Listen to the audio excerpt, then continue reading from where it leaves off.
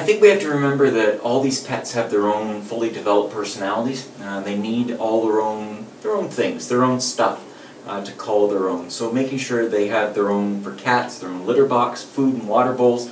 And for dogs, make sure they have their own food and water bowls and their own toys. One of the, the best things that, that we uh, find works is actually creating a common scent.